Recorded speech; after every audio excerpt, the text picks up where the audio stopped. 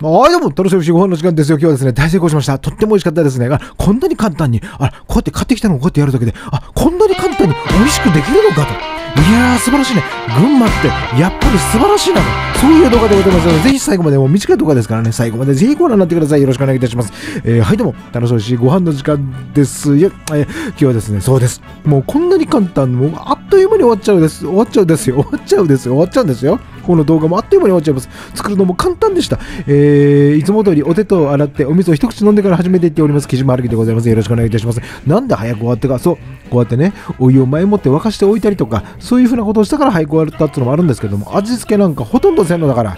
茹でて混ぜて、茹でてかけて焼いて、もう置いて、上にぶっかけてもうそれで終わりたったそれだけでございます、えー、味の決め手というか何を今回メインで見ていただきたいかというとですねもちろんあんまから送ってもらった、このね、いらない食べないから、いらないって言ったらおかしいな、食べないからあんたが食べなさいって送ってくれたイボの糸もですけれども、このさっき見せたこの山菜ですよ、たけのこ山菜の、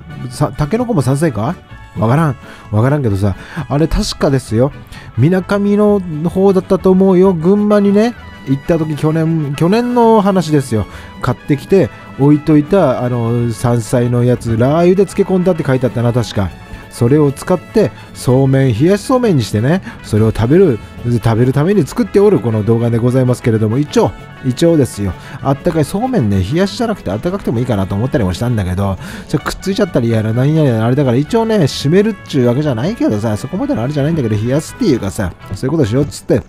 えー、そうめんは水でシャシャってやりました。でフライパンこれね一応あのなんつうんだろうな熱してから入れたつもりだったけどやっぱそうめん茹でた後だからだろうね。あとフライパンももうだいぶ長いこと使っておるからこのこびりついてしまってさこびりついてしまってもうあれでしたよ。あのちょっとこれは考えんといかんなっていう状態になりました。であのこれやっぱりねこのこれたけのこねこれ食べてる動画見てない方ぜひ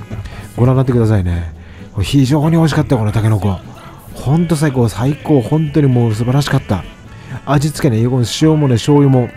何もこう、めんつゆ的なやつもかけたりしなかったけどね、それかけなくてよかったわ。もうちょうどだったもん、このランチョンミートの塩味、その塩気。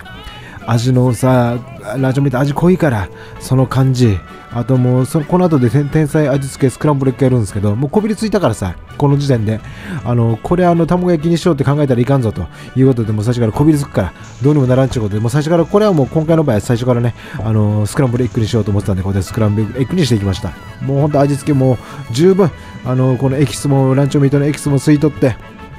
塩コショウでいってであの山菜ラー油のねあほんと美味しかったな。これでもうトマトのっけもトマトもちょうどよかった。本当にちょうどよかったもう。絶妙でしたよ。本当にまた行きたいな群馬。